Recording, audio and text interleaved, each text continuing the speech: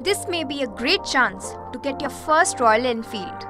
And the only thing that lies between you and the keys to a coveted bullet is a thali or a platter of food.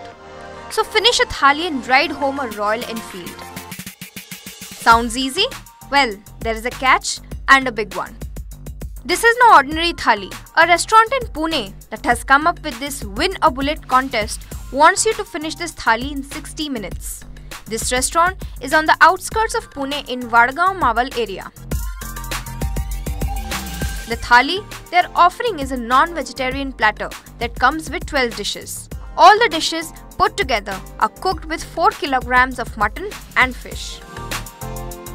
The cost of the thali has been stipulated at rupees 2500 but as we said, if you can finish it, then you can ride home a bullet motorcycle worth around rupees 1.65 lakh.